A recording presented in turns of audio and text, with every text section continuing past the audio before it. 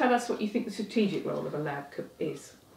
A LAG is not only about deciding which of the schemes you want to support in terms of which of the projects, it's about the programme as a whole. It's about being clear what it is that we could do that would actually benefit a local area.